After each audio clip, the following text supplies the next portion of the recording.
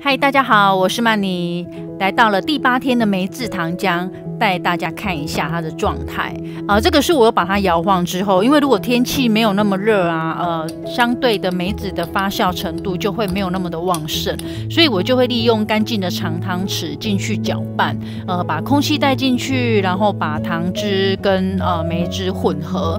呃，你在混合的时候，你发现它就会有这些气泡，这就是它在起作用。哦，其实有这个气泡的时候还蛮香的，而且看这个气泡很像汽水的那个气泡，感觉就很疗愈。我大概一天会把它呃像这样子大概搅拌两次。那如果天气比较热的话，当然就不用了。我们再继续等着哦，大概在两到三天我们就可以收了。好了，我是曼妮，我们下次见，拜拜。